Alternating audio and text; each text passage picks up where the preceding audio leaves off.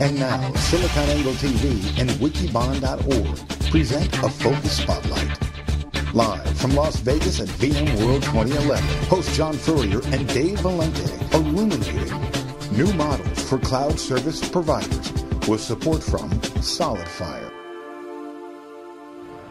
All right, we're back. This is Dave Vellante. We're live from VMworld 2011, SiliconANGLE's continuous coverage I'm Dave Vellante of Wikibon.org, and we've got two great guests here. We're going to talk about uh, the cloud services business, how that's changing. I'm here with Nathan Day, who's the chief scientist, uh, and uh, Duke Skarda, who's the CTO of SoftLayer.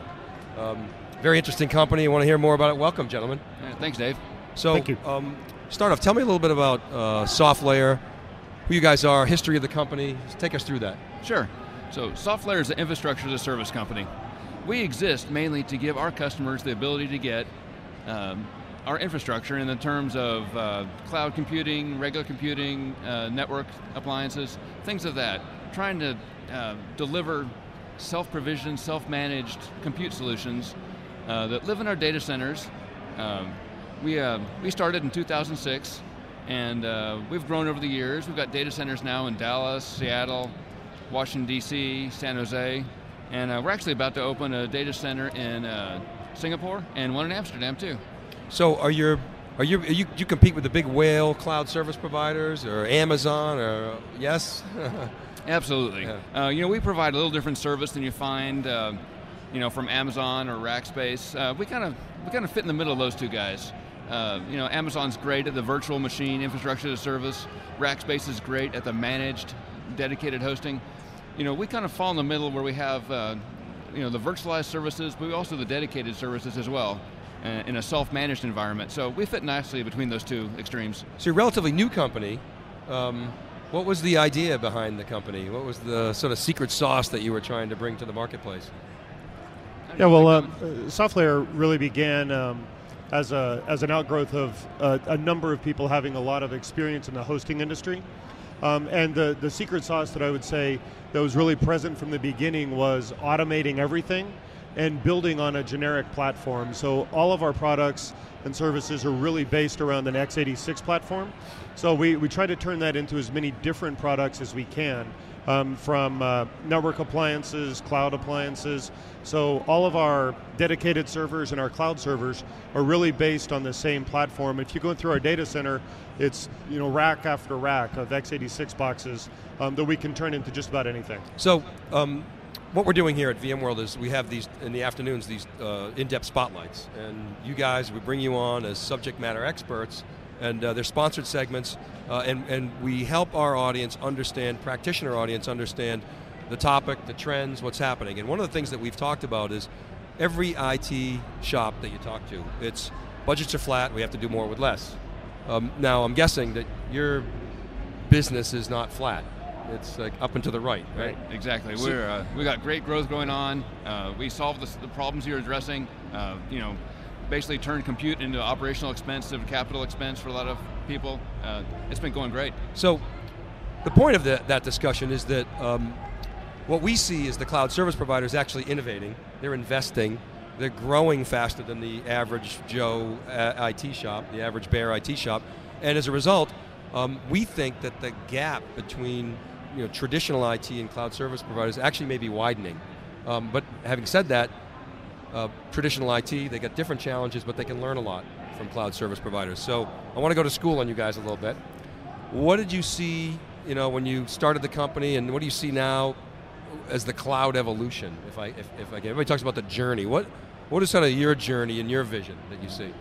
Yeah, well, I'd say uh, when we first started the company, and really dating back to the to the early 2000s, um, service providers that were really hosting companies at the time really offered up a dedicated server. And it was, at the time, you know, very low level, a lot of web services, um, very sort of uh, simplistic applications on the internet.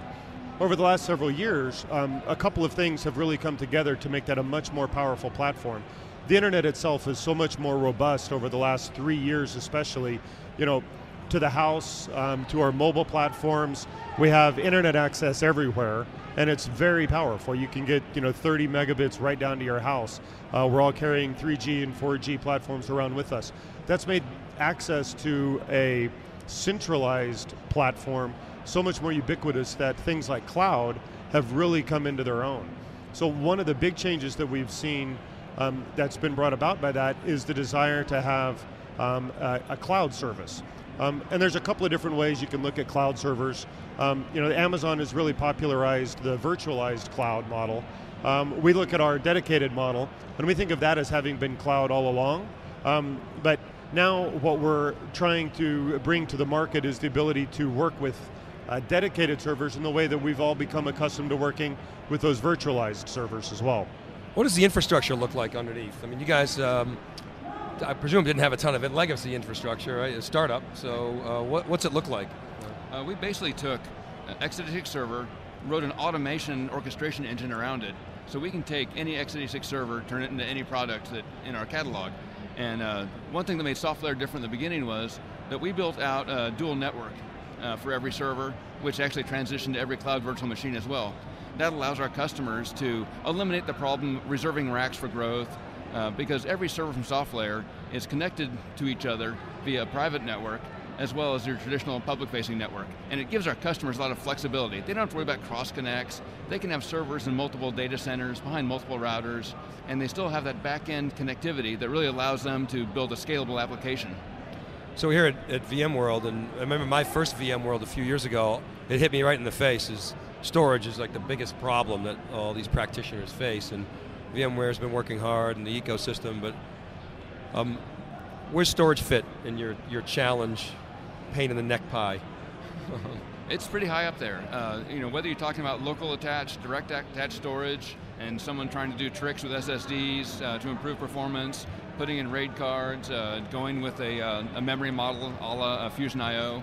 Uh, so, you know, even on local server, server, there's still huge storage challenges. And then when you bring in the network attached storage, the SAN storage, all kinds of new challenges present themselves. the you know workloads are different. the ability to fetch small objects. it really um, it permeates every application out there because storage is turning into such a huge bottleneck, not only in terms of capacity, but also in terms of the actual performance. Are you able to um, to deliver consistent quality of service uh, for your customers and actually charge for it? Uh, is storage a gate at doing that? Talk about that a little bit. Well, uh, at the storage layer, there's a couple of, as Nathan just walked through, there's a bunch of different options. Each of those options has different levels of service that we can provide different quality of service. One of the things we're excited about with some of the new uh, products that are coming out now, um, a lot of them based on SSD and Flash, is they're sort of reinventing the way to to build uh, a SAN platform. And one of the things that they're able to build in that we're very excited about is the ability to control at a fairly fine grained quality of service. Today, um, IOPS are really you know, mapped across all of the users of a given SAN. If we can begin to control that, then we can begin to charge for different levels of service, and more importantly, we can guarantee different levels of service for yeah, customers. so um, we've been looking into this. Our, our David Floyer, one of our analysts, has, has, studied this market, you know, very closely, and he's sort of laid out the different approaches. The, you know, the first one being sort of stack drives, let's say in an right. EMC array, as sort of supporting legacy, you know, systems. And then at the top of the, you know, the, the, the spectrum, if you will, you got Fusion IO server class memory. And we're starting to see these new uh, all flash arrays emerge. And, yeah. and the value proposition behind them is, is guaranteed quality of service. What we've done is analysis stacking up um, a, hybrid, a hybrid uh, SAN array mm-hmm. With you know spinning disk and flash with these all flash arrays. We found that the all flash in a lot of applications is less expensive. Um, I'm trying to see if you if you can confirm that um, are you seeing that potentially you can get greater utilization uh, out of these devices, um, or do you not have enough experience with that yet? I don't, I don't think we have enough experience yet. Um, right now, um, we like what we're hearing. Um, I think the the models that we're hearing and the, the architectures that we're seeing look very promising. Uh-huh. Uh, we're just now beginning to get our hands on these products, so we should know soon.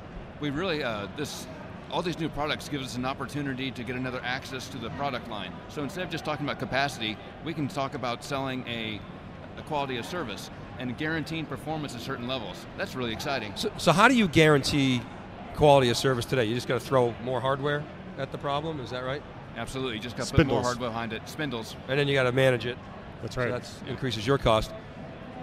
Will you be able to? Uh, let's assume that you'll be able to sort of isolate quality of service, you know, by customer, right? That's the nirvana, I presume, in your That's business. Nirvana, right? yeah, that'd be great. Um, how do you charge? You charge cost plus today, or can you can you can you can you sell the value of that if you can? Al- I, absolutely, I believe we can sell the value of that. the The other thing we, um, you know, would like to see is the ability to um, create very high performance cloud products as well.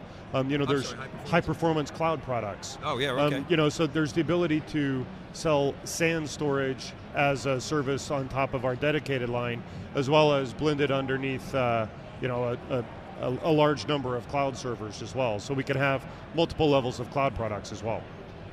Okay, so um, so let's sort of summarize what we talked about. I mean, you've got this cloud evolution going on. Yeah. Um, you've got Flash as this huge disruptor. Yeah. And if I understand it, you guys are looking at Flash as a way to actually generate incremental revenue and drive value for your customers, uh, as a a- as well as potentially lower cost. Because right now, if I understand it, you're throwing hardware at the problem, um, and I presume that ripples through to, to management as well. Management costs. Yeah, the ability to manage, uh, you know, any storage environment is going to be critical to this. You're going to have to have the transparency to know what's going on inside the storage, and you're going to have to have the ability to uh, account for that so your application can perform at its best. Do you do you feel like this will enable new applications? Mean, we think of you think of the cloud, you think of applications like backup and archiving, um, CRM.